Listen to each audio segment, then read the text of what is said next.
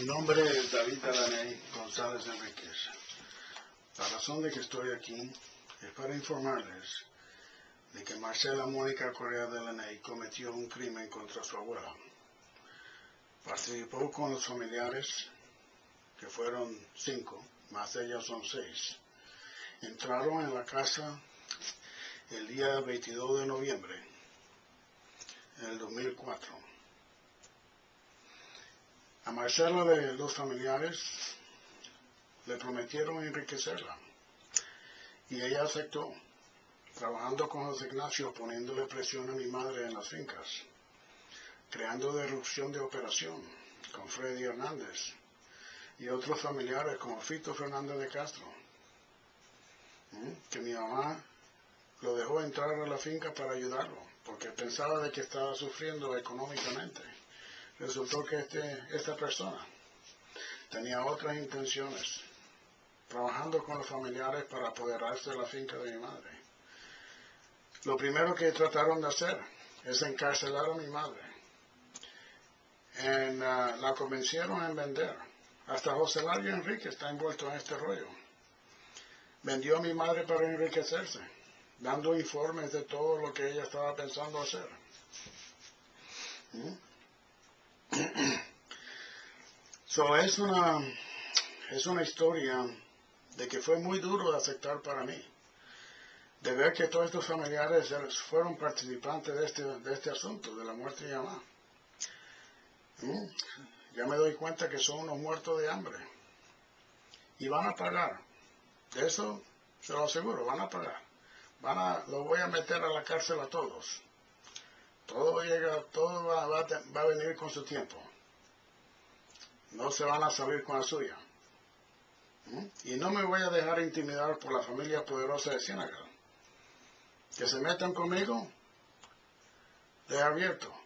Le pasaré todos los informes a la Fiscalía General de los Estados Unidos para que se inicie una investigación contra esas familias en el narcotráfico. Mientras que no se metan conmigo, estamos muy bien. Porque mi solo interés es meter a estas personas que hicieron esto a mi madre. La torturaron, la violaron por la vagina, la levantaron al golpe, cogieron el cuchillo de cocina, la escarbaron la cara. ¿Mm? Esos familiares los quiero en la cárcel. Marcela es una de ellas. Marcela admitió en su declaración ante la fiscalía de que ella participó, de que ella tiene tenía todo el derecho de cometer hurto, de sacar los documentos, apoderarse de los dineros, pero lo que no le dijo a la fiscalía era la cantidad de dinero que ella se estaba apoderando. Se apoderó de mucho dinero, de 600 millones. La familia le prometió a ella de la caja de seguridad que se apoderó Eduardo Avendaño, el fiscal seccional, seccional 22, con el SINGIN y la CTI, con el director Hernández Bermúdez. Y estaba, estaban los, miembros de la, de la ahí. ellos se apoderaron, ellos hicieron un documento, firmaron el documento de que encontraron a la caja de seguridad y se apoderaron de esa caja. La sacaron de la casa. Se lo llevaron para un lugar para asegurar la, seguridad de esa caja. Pero ellos no podían tener esa caja porque los familiares, el doctor Yanque, el, el Giancarlo secretario general, allá se llevó a mi tía Margarita y mi tío Adolfo. Con, la, con los documentos que se robaron, sacaron la, la clave para poder abrir la caja fuerte, para encontrar de que habían 600 millones ahí. Esos 600 millones se lo compartieron con mi tía Adolfo, con mi tío Adolfo, mi tía, mi tía Margarita, mi tía Eva, mi tía Tere, 150 millones cada uno. A Marcela le prometieron un porcentaje y no se lo dieron, porque sabían de que Marcela estaba, había robado mucho dinero. Se había apoderado de mucho dinero. Marcela estaba muy enojada ¿Y qué hizo? Cometió hurto. Cometió dos hurtos. Uno es, se robó la, el documento, el testamento, donde dice quién es el verdadero heredero de esa fortuna. Dos, se robó el contrato de venta de Alicia Mercedes, que los turcos solamente pagaron 143 millones, que fue depositado en el fondo de pensión. ¿El resto de dinero qué? Son como 300 o 400 millones que todavía deben de Alicia Mercedes, que no han pagado. Pero Marcela se robó el documento pensando que ella podía apoderarse de esos 400 millones. O 300 millones. Entre 300 y 400 millones está la cifra. ¿Mm? Ahí vino detrás mi tío Adolfo. Le ofreció 18 millones y la convenció que se la vendiera por ese precio. Marcela se lo vendió por 18 millones el contrato de venta a Alicia Mercedes. Los turcos no le dieron 5 centavos, le dieron un millón por el contrato de venta. No le dieron, no le dieron la suma que debía haber sido. Porque ellos saben de que ellos no son los herederos. Los herederos somos nosotros. Yo, David, mi hermano Douglas y mi hermana Marta.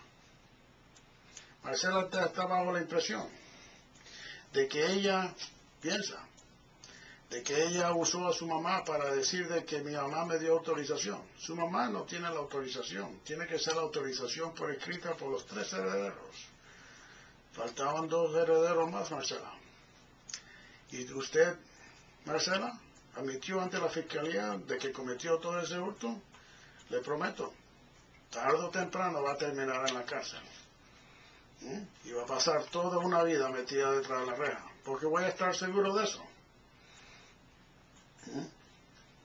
José Ignacio, haber levantado a mi madre a golpe, de una forma tan salvaje, violada, violándola con, la, con, su, propio, con su propio bastón por la vaina, ¿Mm? con la ayuda de Luis Fernando Sabaraí Morán. Les prometo, muchachos, de que se arresten, porque no se van a salir con la suya, van a pagar, se va a hacer justicia, ustedes terminarán en la cárcel, eso se los prometo. ¿Mm? Pase lo que pase, pase el tiempo que necesita pasarse, pero tarde o temprano van a tener que enfrentarse a esa realidad.